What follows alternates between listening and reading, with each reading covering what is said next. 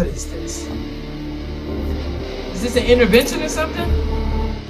Is that why you're here? To let me down easy? Worked last time, why not run it back, huh? Until I got out of class and stared at the shit.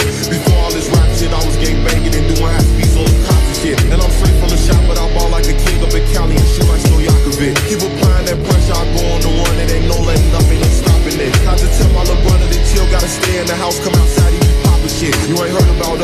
you need to go watch the news, niggas know we be dropping shit. Got the feds on my ass in the hood, cause they think I'm the one who been bearing them blocks and shit. I'm just focused on music, they say my last tape was a classic, but I got some hotter shit. I be rocking the show, or if I'm not up in the studio, I'm fucking this cash off. Don't you know Polo G skinny tall with the dress, till a nigga be rapping his ass off. Yeah, I heard she got surgery, still wanna count from the back just to see if her ass off. Go like Harvard rocks, we blast off. Tried to throw us some